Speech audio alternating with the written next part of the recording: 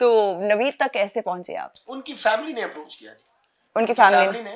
Family ने approach किया। जैसे मैंने गुजारिश की कि जीआईटी की तरफ़ से आज के दिन तक कि जीआईटी के ने आज और कल बंदे भेजे उनकी फैमिली के अंदर और उनको कहा है कि आप उस वाले वकील को छोड़ें आप इस वाले वकालतनामों के ऊपर दस्तखत करें और अदालत में पेश होके नवीद को कहें कि उसने कोई वकील नहीं करना।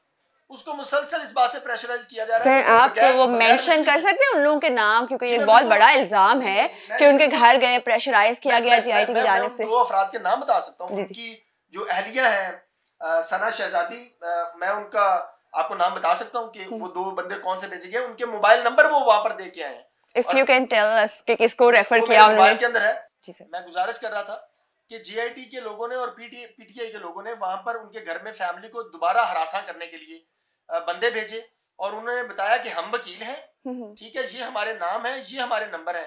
आपने वो जो लाहौर वाला वकील किया ना उससे हमें बड़ी तकलीफ़ हो रही है उससे हमें बड़ी प्रॉब्लम हो रही है तो आप उससे वापस हटे आप हमें वकील करें। हम्म, अब पता नहीं वो बंदे वकील हैं या नहीं है वो मुलजिम नवीद की तरफ़ से पेश करवा के जीआईटी वाले पता नहीं उससे क्या बयान दिलवा दें।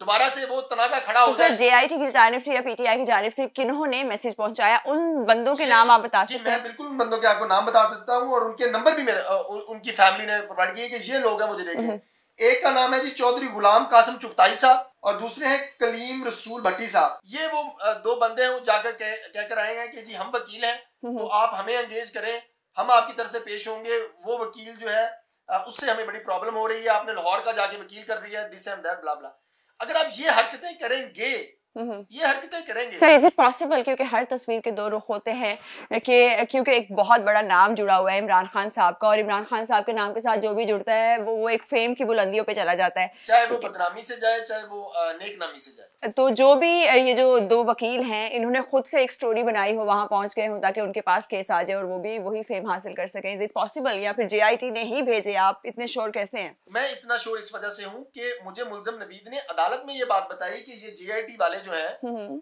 उन, उन गुलाम महमूद डोगर साहब की तरफ़ उसने पॉइंट आउट करके कहा कि ये इन्होंने मुझे तीन रिमांड्स के दौरान मुसलसल इस बात के ऊपर खौफजदा करके रखा है और तशद किया मुझके मेरे पे कि आपने अपना वकील जो है वो पेश नहीं करना। उस बात को इस बात से मिलाकर पढ़े तो ये जेआईटी वाले ही इसके पीछे होंगे।